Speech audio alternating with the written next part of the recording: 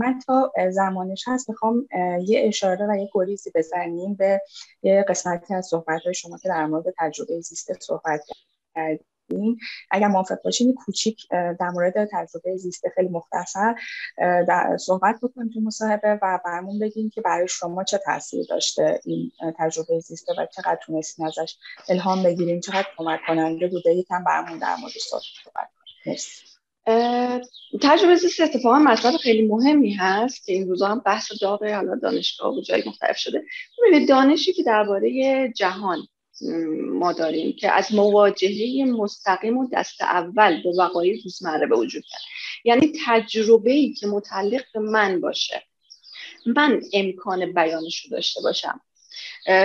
اینجوری نباشه که من مثلا زندگی کسی دیگر رو بخوام عکاسی کنم. اصلا همینطوری هم میشه. من اگه بخوام وارد زندگی یه نفر دیگه بشم سریع بخوام حالا توی روز اول عکاسی کنم عکس خیلی سطحی در میاد. مگه اینکه حالا مخصوصا تو هیته مستند که کار خودمه و اینکه با حالا این کسی که دارم ازش عکاسی می‌کنم یک مدتی باش گذرانده باشم یک دوستی بین ما در واقع پیدا بشه و اینکه بعد من بخوام عکاسی کنم. حالا یعنی عدم توجه به اون به تجربه زیسته که به نظر من باعث میشه کار عمق پیدا نکنه. این خیلی مهمه.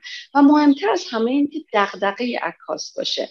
یعنی اول دغدغت باشه بعد اینکه یک توجه کامل. چون به فرد مثلا اگه من بخوام به گونه ای مثلا زن مسلمان سنتی رو عکاسی کنم چون این زندگی رو من زندگی نکردم.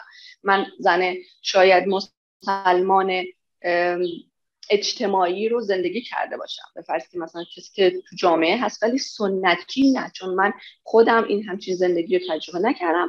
بنابراین نمی‌تونم بیام زندگی همچین زنانی رو عکاسی کنم. و در نهایت مثلا کار عمق پیدا نمی‌کنه. پس این تجربه زیسته به نظر من خیلی مطلب مهمیه. نه تو عکاسی تو هر چیزی هنر ادبیات همونطوری که با بایزید بستامی اگه بخواد عشق رو بررسی کنه من یه جمله ازش میگه به صحرا شدم عشق باریده بود و زمین تر شد.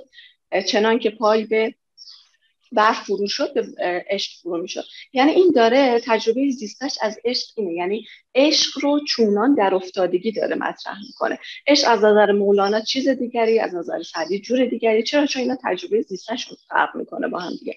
پس همزمان تو همه هنرها تو همه دیدگاه ادبیات همه چی ما اگر این تجربه زیست رو بهش توجه کنیم و نخواهیم جا پای کسی دیگه بذاریم واقعا به نظر من یکی میومره و یکی سریعتر می‌تونه به مقصد و هدف برسیم